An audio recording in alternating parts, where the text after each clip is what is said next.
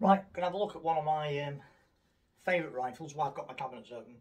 Um, I'm cleaning all my guns, uh, waxing them, giving them a bit of lubrication. So while I'm at it, I thought I'd show you one of my favourite rifles. I love this gun. Um, now, it's always been beautiful. It's got gorgeous stock on it, and I've been doing a bit of work with the, uh, um, the waxing the stock, uh, and then polishing it up, and then waxing the stock, polishing it up. You know, it takes a long time to get stock uh, looking really nice with the wax. So here it is. It's a Greener, and it's the Camlock, and uh, this thing is pretty amazing. It has got the most beautiful walnut stock. Um, I mean, that is, I think, that is one of the most beautiful walnut stocks I have seen for a long time. Um, it's just beautiful. It really is. It's just, it's a gorgeous looking gun. Um, and I put a lot of effort um, waxing it up, polishing it to get it looking like that um, and it's come out an absolute treat. Yeah, beautiful rifle this. Uh, like I say, one of my favourites. Um, these are rare, very rare. Uh, this is number, well, you can see there, number 821. Um, and these are great things.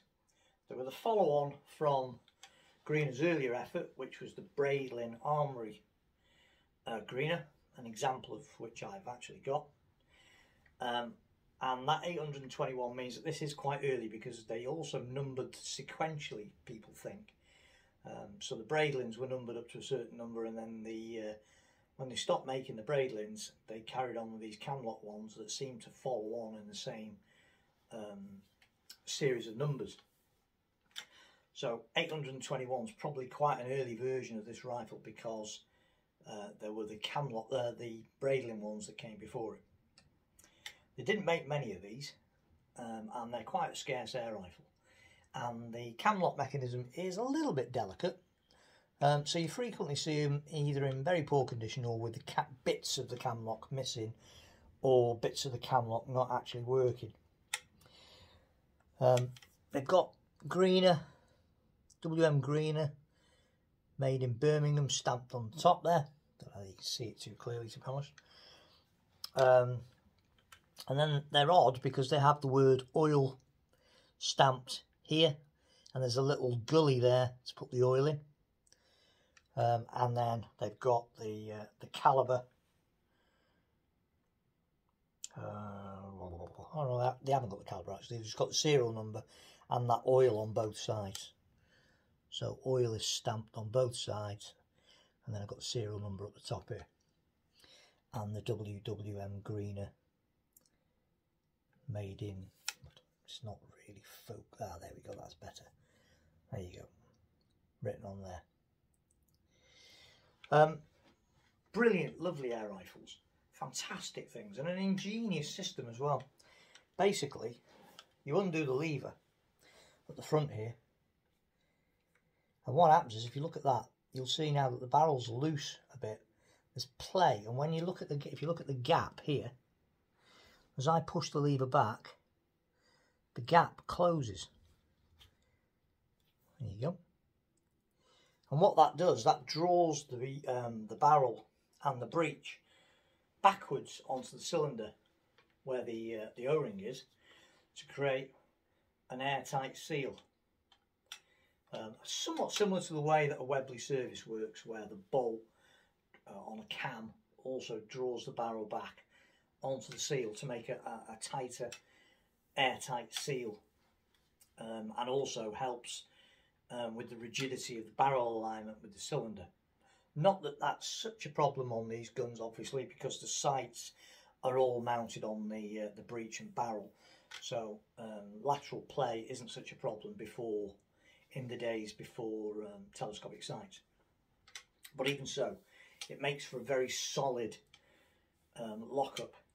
They've also got a standard detent, um, like the Braidlin one, exactly the same, um, that initially locks the barrel in place. So you can open the lever fully and the barrel still stays shut and you have to actually break it. So it's got a standard detent. If you can see in there, you'll see the little detent. And if you look, you can see the details of the join there that sucks in to the other side. So those two bits sit inside of one another when that's closed. Satisfying rifle to shoot. Accurate rifle again in 22 caliber. Uh, primarily designed for hunting this was. This was Greener's hunting rifle. And uh, it has got a fair old whack to it. It's got a pretty decent length cylinder and a decent sized mainspring in there. And it gives a fair old thump. Um, again, this one, I don't want to overspring it. This is shooting about eight, possibly nine foot pounds. Um, but I don't want to overspring it because again, you know, I'm not intending to go hunting at range with these things like they used to in the old days. This is just really for target shooting now. And I don't want to put unnecessary strain on the trigger or the, uh, the cam lock mechanism. It's just not worth it with guns like this especially this one. It's in such good condition and it's got such a beautiful stock and all the action parts are there. Everything functions as it should. should. Some they don't. Um, some are missing. Oh, I forgot to say, it's got a little, uh, on the breech side, on the cylinder side, there's a little hollow extension of the transfer port that actually when you shut the breech, when it draws it back, it pushes the pellet into the uh, into the breech slightly. So this rifle's got all of those components are there and they all work. So it's not worth jeopardising them just to get an extra couple of foot pounds out of it um, to use it for hunting. So I'm quite happy if it's giving nine foot pounds, that'll do for me. As you can see, stunning rifle. This is definitely one of my favourites. A beautiful gun. They just feel really good. I mean, they're really greener, really got it on, hit it on the head here. But there's a number of reasons I like this because when I used to have a shotgun certificate many years ago, um, when I was a teenager, I used to do a lot of shotgunning then um, until I got more into the lurchers and the, well, basically I, I used to do a lot of shotgunning shooting over my terriers.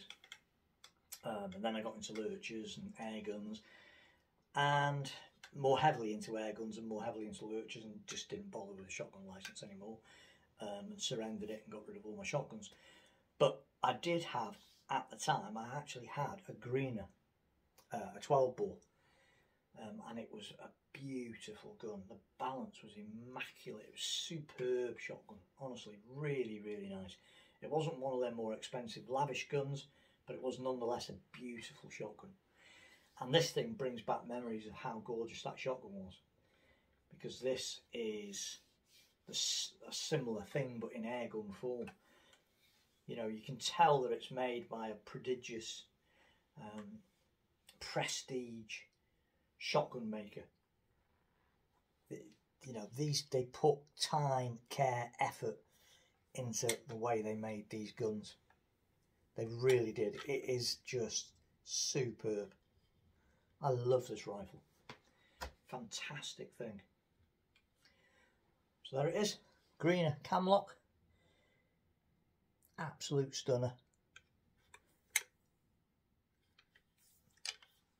And that beautiful and very, very clever cam lock mechanism. Uh, unusually as well, I forgot to mention it, but unusually as well, the rear sight was actually adjustable for windage on these without having to drift it in the uh, in the in the uh, indent all you did undid these little lock screws. It's got a little lock screw one on either side. And you loosen those off and then tighten up the one whichever way you want to drift the sight and then tighten them both up to lock it in place. So this one actually had windage adjustment which was quite rare for a rifle made back in the 1930s so there it is. Beautiful. Look at that. Absolutely stunning now, for the purists, these did have Uh, and indeed, I've still got it. I've, these came not with, they came with this black ebonized bit of wood I've put on the back here. They actually had a, uh, a metal butt plate, just a plain metal butt plate. Um, I have got that plain metal butt plate for this rifle. Um, but I didn't think it did it much, it didn't do it any favours. And not only that, um, I quite like the idea of this because when you're putting it down as well, you know, you don't want to damage anything. I really don't want to damage this gun. So I made, well, I didn't make it, but I had made this little sort of ebonized wooden um, butt plate to go on the back of it. Someone else made that. And uh, it just just takes the bangs and the clonks um, and helps preserve the stock without damaging it. So that bit there, it does come off, it's only held on by two screws. So that unscrews and you can put the original plate back on if you so wish, but I think it looks great with that one. Beautiful rifle.